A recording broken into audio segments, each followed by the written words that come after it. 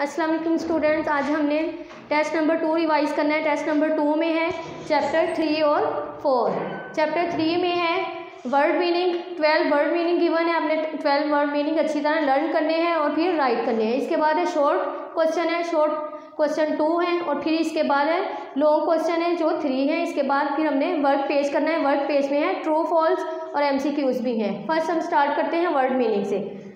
Reach पहुँचना desert सहरा decrease कम होना क्लाइमेट आबो हवा एटमोसफियर माहौल सरफेस सतह बैरियर रुकावट सेल्डम कभी कभार सब कॉन्टीनेंट बरे सगीर फैक्टर्स अवामिल यूजली आमतौर पर एल्टीट्यूड बुलंदी, ये ट्वेल्व वर्ड मीनिंग है, आपने अच्छी तरह ये लर्न करने हैं, फिर राइट करने हैं ताकि आपकी इमला दुरुस्त हो। फिर इसके बाद है short question short question number one है which part of the country is warmer हमारे मुल्क का कौन सा हिस्सा ज़्यादा गर्म होता है?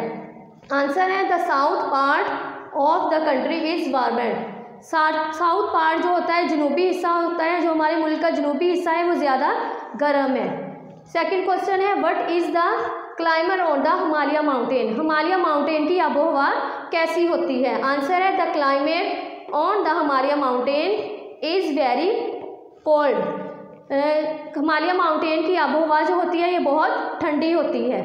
इसके बाद है long answer long answer three given है आपके पास। आपने ये अच्छी तरह लर्न करने हैं, अभी अच्छी तरह समझ लेने हैं। इसमें है question number one what is the importance of climate for a region एक इलाके या खिते के लिए आबो हवा की क्या अहमियत होती है? आंसर है climate is an important factor climate आबो हवा एक बहुत अहम अवामिल है because because it has a great effect क्योंकि ये बहुत मुतासर होती है ऑन पीपल्स लोगों की लाइफ जिंदगियों पर प्लांट्स पौधों पर क्रॉप्स फ़सलों पर and on the land in area और इस ज़मीन के इलाके पर आबोहवा बहुत मुतासर होती है। इसलिए आबोहवा एक बहुत अहम अवामिल है जो लोगों की ज़िंदगियों पौधों पर और फ़सलों पर बहुत मुतासर होती है।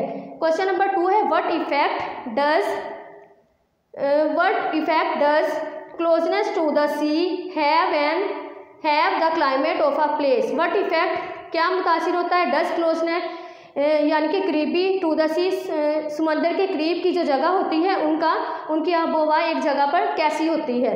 प्लेसिस जगह that are close to the sea वो जगह जो समंदर के करीब होती हैं यूजली आमतौर पर है टेम्परेट क्लाइमेट उनकी आबोहवा बहुत ज़्यादा होती है।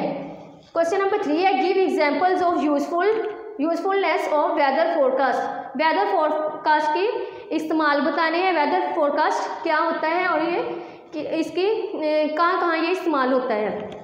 वेदर फोरकास्ट वेदर फोरकास्ट वो होता है, ये वो लिबास होता है जो गर्म होता है, गर्म लिबास होता है।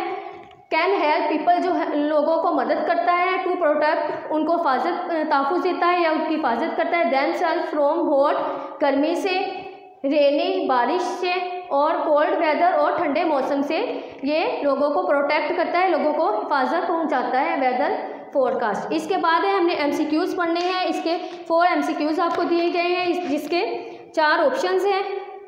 फ़र्स्ट है, Sindh and Balochistan are dash throughout the year Sindh और बलोचिस्तान पूरा साल होते हैं। ए ऑप्शन है कोल्ड बी ऑप्शन है हॉट सी ऑप्शन है टेम्परेट सिंध और बलोचिस्तान के जो इलाके हैं, वो पूरा साल हॉट गर्म रहते हैं, इसलिए बी पे अपने सर्कल कर लेना है या टिक कर लेना है। सेकेंड है the earth is surrounded by ज़मीन सराउंड होती है डैश से।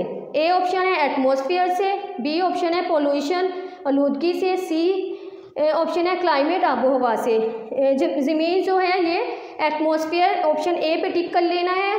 एटमोसफियर से मुतासर होती है। The earth is surrounded by atmosphere third है dash are very dry places कौन सी जगह ज़्यादा खुश्क होती हैं? ए ऑप्शन फॉरेस्ट जंगलात. बी ऑप्शन माउंटेन्स पहाड़. सी ऑप्शन डेजर्ट सहरा. सी ऑप्शन डेजर्ट सहरा जो है, ये बहुत ड्राई प्लेसेस होते हैं, इसलिए आपने सहरा पे टिक कर लेना है, ब्लैक में भी लिख सकते हैं। Dash are very dry places desert are very dry places fourth है मानसून रेंज मानसून की बारिश fall during the month of dash monsoon की बारिश कौन से महीने में होती है? ए ऑप्शन है October and December B option है January and March C option है जुलाई एंड सितंबर मानसून की बारिश जुलाई एंड सितंबर में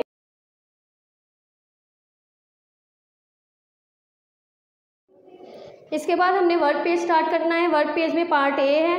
वर्ड पेज का put put a tick against true statement जो सही है, उसके आगे हमने टिक कर देना है and a cross against the false ones और जो फॉल्स है, उसके आगे आपने क्रॉस का साइन पुट कर देना है। फिर है वन है high areas are usually hot ज़्यादा बुलंद और ऊँचे एरियाज़ ज़्यादा गर्म होते हैं?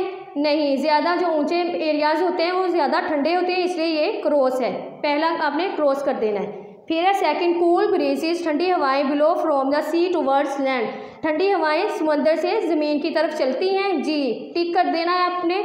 ठंडी हवाएँ समंदर से ज़मीन की तरफ़ चलती हैं। दूसरा है टिक थर्ड है desert are very dry places सहरा जो है, ये खुश्क जगह होती हैं। जी टिक कर देना है क्योंकि सहरा जो है, ये बहुत खुश्क प्लेस है। यहाँ पे बारिशें बहुत कम होती हैं। इस पर हमें टिक कर देना है। फोर्थ है forest do not receive much rainfall जंगलात जो होते हैं, ये ज़्यादा बारिश रिसीव नहीं करते। क्रॉस जंगलात में ज़्यादा बारिशें होती हैं, इसलिए ये यहाँ पे क्रॉस है। फाइव है places close to the sea always very hot समंदर के पास जो जगह होती हैं, वो ज़्यादा गर्म होती है। नहीं, समंदर के पास जो जगह होती हैं, वो ज़्यादा ठंडी होती है, इसलिए ये यहाँ पे क्रॉस है। सिक्स है Pakistan has a very wet climate Pakistan की आबो हवा ज़्यादा वेट है, गिली है, नहीं, पाकिस्तान की आबो हवा वेट भी है ड्राई भी है, इसलिए ये क्रॉस है, यहाँ पे हमने ये क्रॉस कर देना है। अब हम second chapter fourth chapter start करेंगे।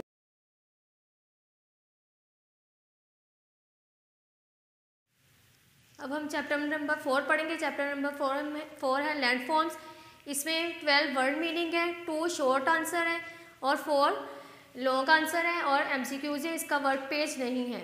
फ़र्स्ट हम स्टार्ट करते हैं वर्ड मीनिंग से। टर्न मुड़ना बैरियर रुकावट लिंक रबता कोस्ट साहिल माउंटेन पहाड़ स्ट्रीम्स नदियाँ माइटी बड़ा कोर्स रास्ता पॉपुलेशन आबादी फास्ट फ्लोइंग तेज़ बहाव जॉर्ज घाटी कैनाल्स नहरें।